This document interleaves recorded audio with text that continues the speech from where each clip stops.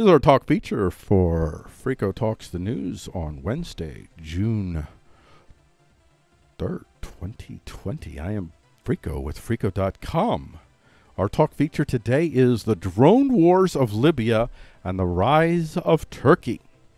Libya may turn out to be the latest in a string of proxy battlefields for world powers that allow them to test the latest war tech developments literally in their arsenal. While multiple theaters throughout the world have seen the increased uses and significance of drones in battles, the tangled civil war in Libya has become the major concentration of drone warfare in the world, offering drone tacticians a myriad of new field gathered data to help them develop the next round of drones and drone killers. There you go. There you go. I gave you guys the quick, this is what happened there. So if I meander, you can feel happy. You got the you got the, the, the key things in there. Now from last week we had Edge Region, or from the last show last segment yesterday, we had Edge Region as our little text thingy that showed up. Will we continue Edge Region? No, we're gonna take you down. There you go. No more Edge Region. Let's let's stick to this story. Quite a fascinating story that's going on over there in Turkey as or over there in over the skies of Libya as it's kind of like what Guernica was in World War before World War II, before the Germans really unleashed fury upon the world. The Germans perfected their craft by bombing the crap out of a city in Spain called Guernica. Pablo Picasso did a famous painting about the bombing of Guernica. Killed hundreds of thousands of people and really taught the Germans all the all the ways in which they should execute their blitzkriegs. So that's kind of what's going on over the skies of Libya. It's always nice when you can test out tools over skies that have nothing to do with your people. You can just kill people that don't belong to you. And that's what you'd prefer, generally speaking. If you're going to test out weapons of death, you, you want to try and test it on people that are not your citizens because they tend to not like that. But they tend to not care so much when you're doing it to other citizens. So this is from Al Jazeera.com. Largest drone war in the world. How air power saved Tripoli.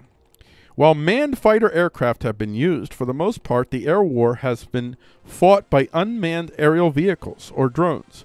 With nearly 1,000 airstrikes conducted by UAVs, UN Special Representative to Libya, Ghassan Salameh, called the conflict the largest drone war in the world. Well, yeah, it absolutely. It's big, big time. Big time show, man.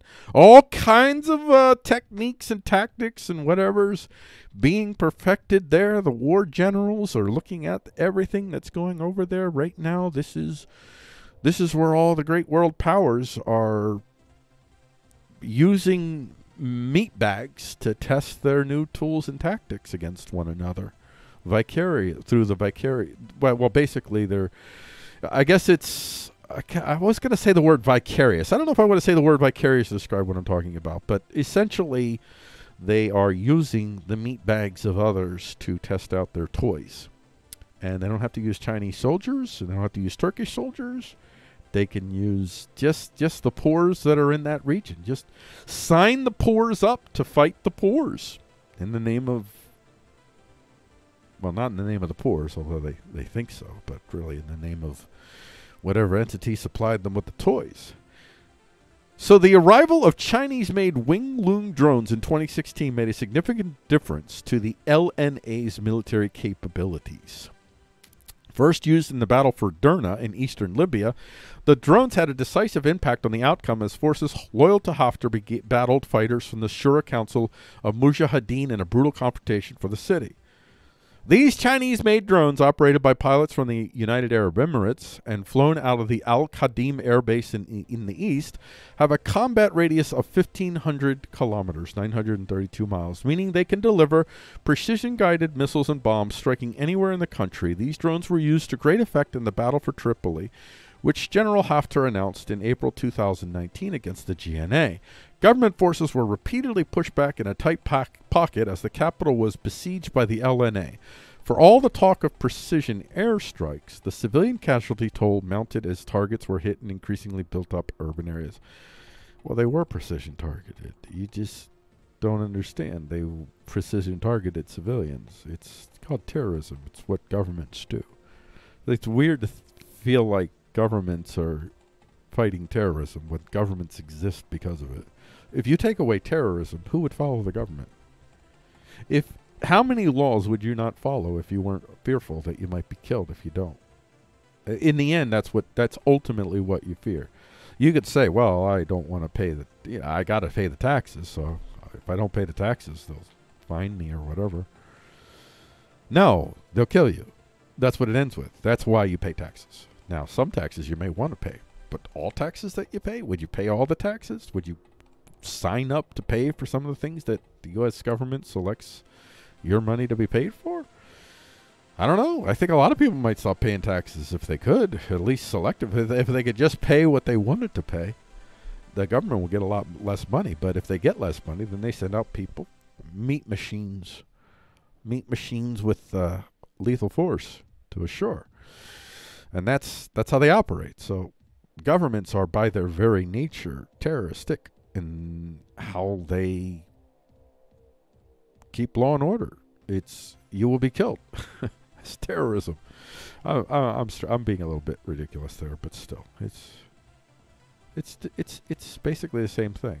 But in the name of fighting terrorism, these uh, particular uh, groups with their particular ideological constructs, that ideational constructs that allow them to to murder their neighbors for the in the name of whatever pure, certain, absolutarian moral constructs that they seek to impose upon the rest of the universe by any means necessary. Yeah, they're just they're just being whipped up to frenzies to fight one another in the name of Turkey and China and Russia and the United States, basically testing out their new tours and see toys and seeing what works, seeing what tactics work.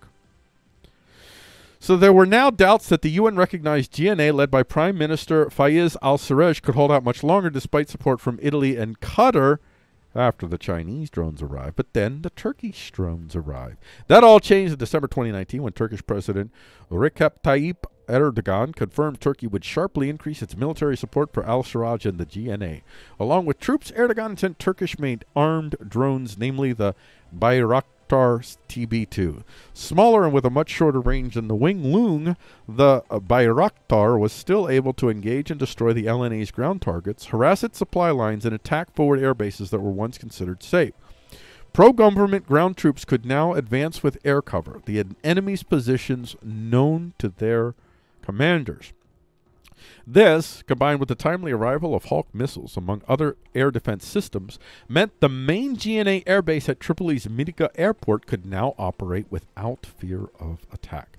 The effect was dramatic as the GNA launched a counteroffensive and, in a lightning strike, seized the coastal town of Surman, Sabrata, and Al Ajalat. Al Ajail. Al, al, no, I got it right the first time. Al Ajalat. Along with the border town of Al Asaya, Al Asa. I put an I in there that's not there. This was followed up by repeated attacks on the Al Watiya air base, which Haftar's forces were using as their main point of operations. The air base was finally retaken on May 18, a severe blow to Haftar's ambitions in western Libya, as not only was it the LNA's principal headquarters there, it was also his supply and logistics hub. LNA units were forced to retreat especially as the Russian made UAE supplied Pantsir S-1 air defense units were being comprehensively destroyed, leaving the retreating forces with little to no protection from air attacks. Media reports claimed sophisticated Turkish jamming gear was responsible for disorienting the Pantsir's radar, leaving it vulnerable, vulnerable to airstrikes from the Bayraktar drones. While air power can at times turn a tide in a military conflict, it has also been used in Libya as a threat level indicator, a diplomatic tool, and a warning of potential escalation if events are left unchecked. So there you have it, folks. This is the new reality that is beginning to emerge. And we're not even here yet. What's going to happen, what, what I, I support, that what will inevitably have to happen is the drones will keep getting smaller, and the smaller platforms will still have higher degrees of lethality attached to them. And and and and war will turn into a sky show of, of hordes of drones seeking to basically clear the area so that one side or the other can have drone control.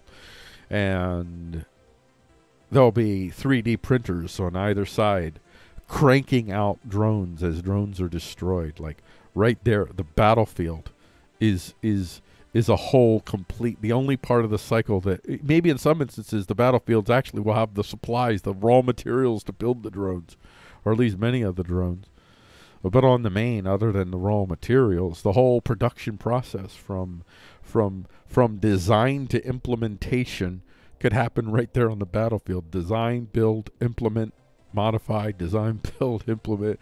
All be there. All, everybody be there racing to get the newer the design. And, and now with the artificial intelligence you could see a generation. You, you have a, a wave of drones that go out and the next wave that goes act, a, after them is the next generation of drones because you figured out stuff. You know the the evolutionary contest of design that will occur over the skies with hordes of drones this is my prediction i could be wrong but that's that's kind of what i predict and i see I see that that's that's where things are going. That's the direction. Like the the, the picture that I showed here. This is a big big drone.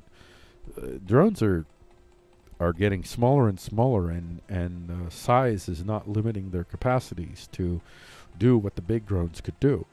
And that's where we're heading towards. We're we're just heading towards that. So keep your eye on Libya, where coercive enterprise uh, entities are using the the blood and bones of Libyans to test out their toys, their their their their terroristic means of controlling the masses, on on hapless Libyans who are being led to their deaths in the name of Allah or whatever the heck else spooks they want to use. Not that Allah is well, I believe in Christ, so I I would deny Allah, but it, for for my Muslim friends, I don't mean any disrespect. You know, I, I mean that in the in the same sense where I refer to Christ as a spook for people who follow Christ, but I would say not the real Christ. My interpretation, they follow the Christ spook, the one that they, they where they use the word of Christ, or for for my Muslim friends, they use the word of Allah, and they you could argue if if you're if you have a version of Islam that you believe is is not is not coercive in nature, then you would look at the coercive versions of Islam as not being reflective of the true Allah spirit.